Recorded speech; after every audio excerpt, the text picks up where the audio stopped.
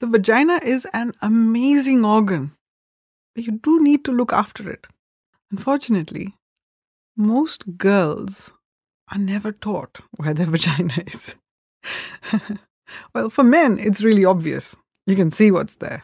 But for women, it's all hidden. In today's podcast, we're going to talk about how to look after the vagina and what women can do to care for their vagina.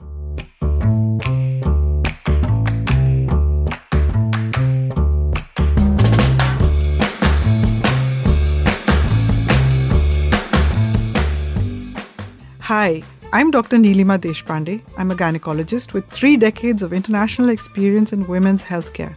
I have expertise in menopause and sexual health.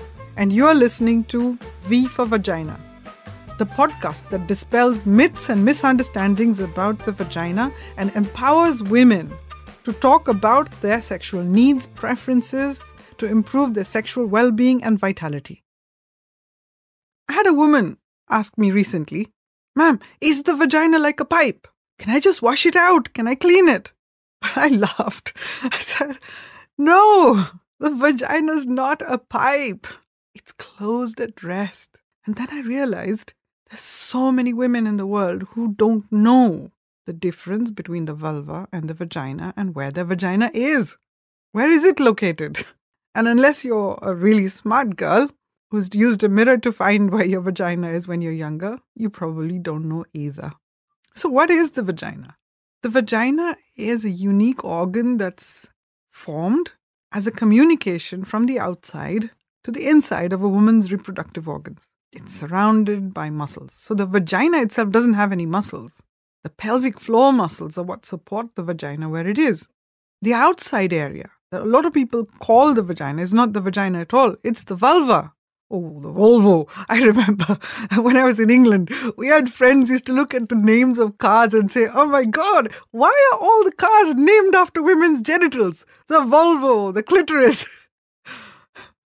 but it's true boys and girls have sexual differences. And in society, boys are taught about their genitals. It's just so obvious. It's easy to see. They tell you how to pee, they tell you how to look after yourself. But, but girls are not taught. They're not even allowed to talk about their genitals.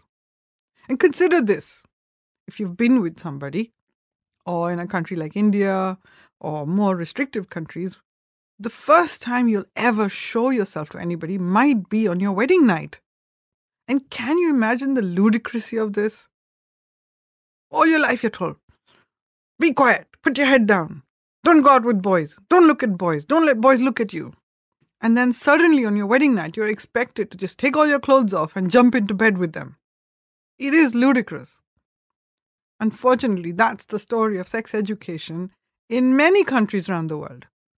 So, what's sex education got to do with looking after your vagina, especially as you get older? The truth is, your attitude to your vagina begins when you're a very, very young girl. How your mum taught you how to clean down there.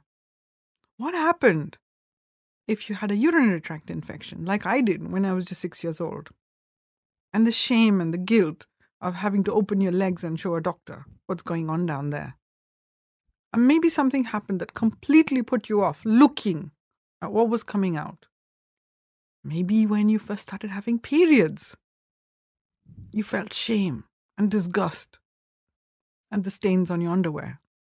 If you had a really knowledgeable mom, maybe she took you into confidence and said, Hey, this is nothing to worry about. It's just normal. Come, let me tell you how to look after yourself. So you don't ever have to worry about bleeding, stains, and stinking.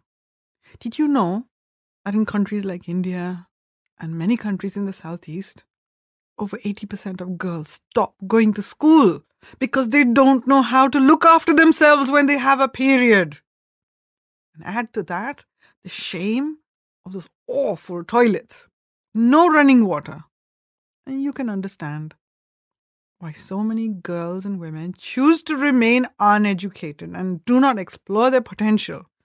Oh, I tell you, looking after your vagina has huge consequences for society and the productivity of women and their financial status, their marital status, what they do with their lives and their potential. And you would never have connected it with looking after a vagina. what to say of losing your virginity? Your ability to know what your vagina means to you, who you want to lose your virginity to, what virginity means. It's not just about breaking a membrane and getting blood on your underwear or on the sheets. It's got nothing to do with the hymen. It's got nothing to do with the penis entering the vagina for the first time. And what about your ability to say no? Who do you give permission to enter your very, very private space? How can you own your space and say no to someone who refuses to use a condom? When you know for sure it's something you need to protect yourself. Very recently, I had a young girl come to me with warts all over her vulva and inside her vagina. A young, educated girl at the peak of her career. She didn't know. You could insist on your partner wearing a condom, and that condoms can prevent over 95% of sexually transmitted infections. So, why does the vagina grab onto all these little bugs? Well, partly that's their home, isn't it? They want to grow, they want to move from one person to another really quickly. That ensures their survival.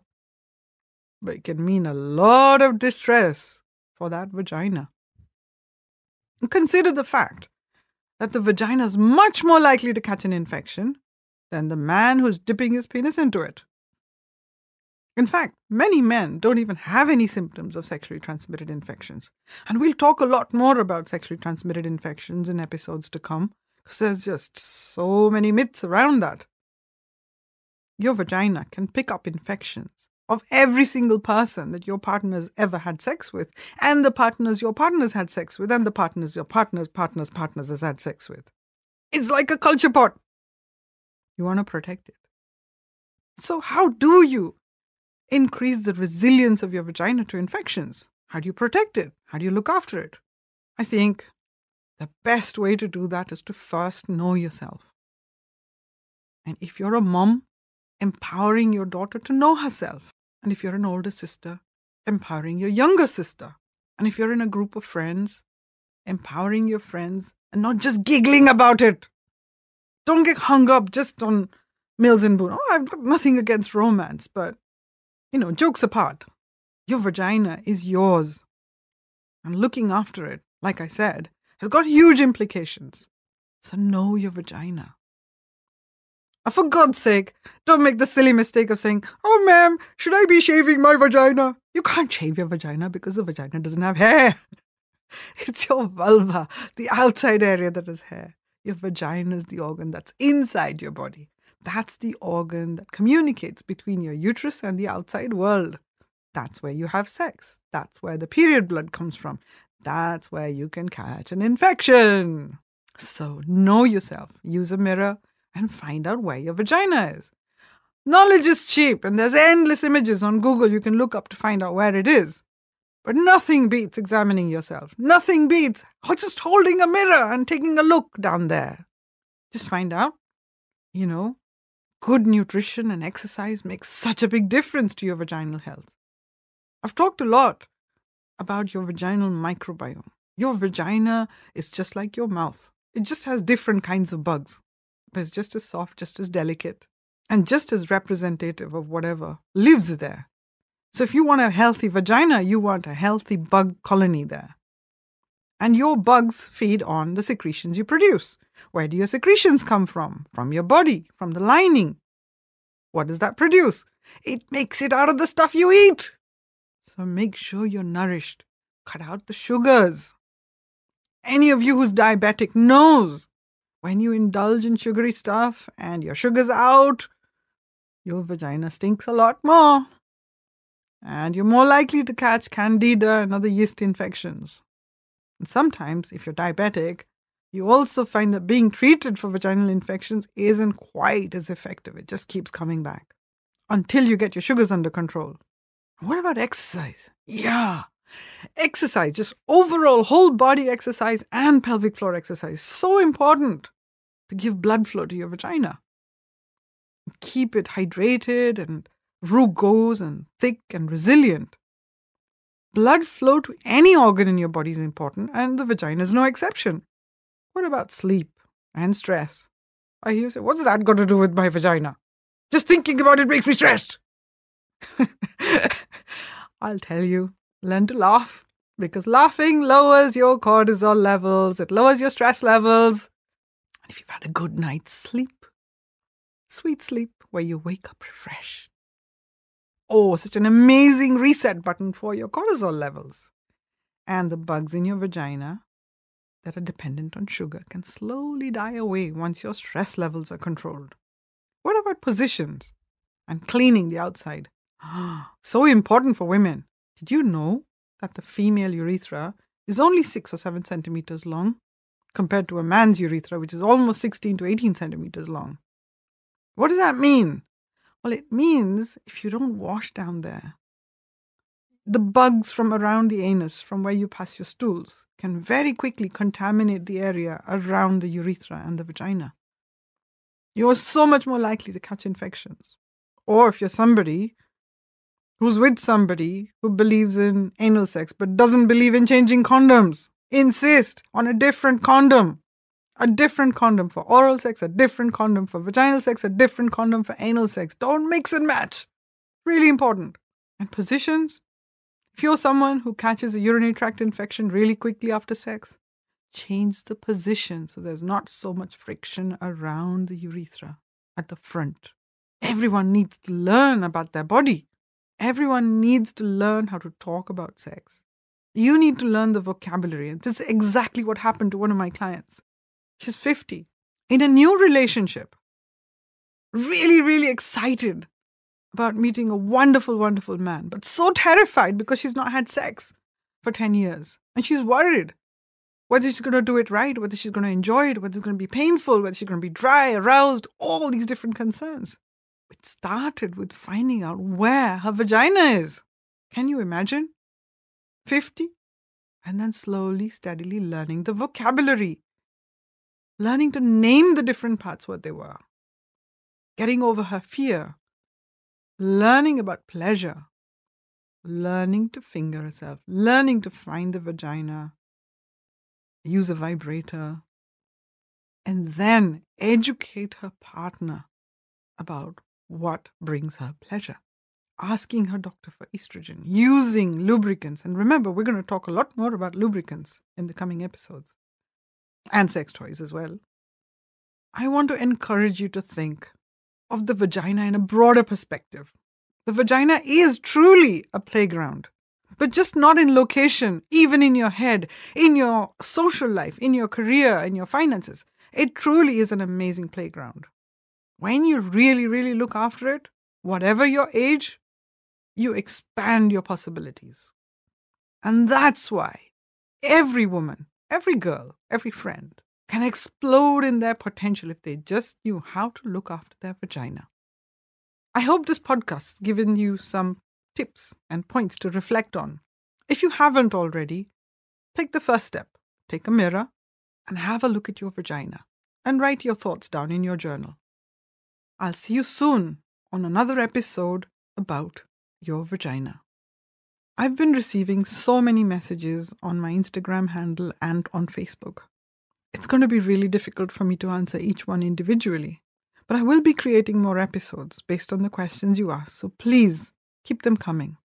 And I'm so grateful that you've considered what I'm offering as valuable. This message needs to get out. It needs to reach women across the globe, of all ages. Their lives depend on it. The quality of their lives depends on it. Who knows?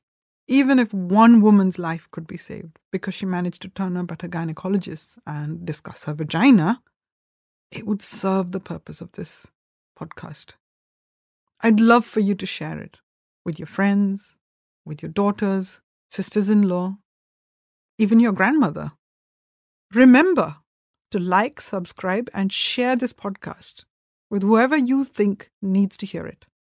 If you'd like to talk to me one on one for a personal consultation, get in touch with me via my website www.drdrnilima n l i m a deshpande d e s h p a n d e dot com and you'll find a button there where you can click and book a slot with me and I'll be sure to respond to any of your queries. Thank you. Disclaimer This podcast is for general information purposes only. It does not constitute the practice of medicine, nursing, or other professional healthcare services, including the giving of medical advice. No doctor patient relationship is formed. The use of this information and the materials linked to this podcast is at the user's or listener's own risk. The content on this podcast is not intended to be a substitute for professional medical advice, diagnosis, or treatment.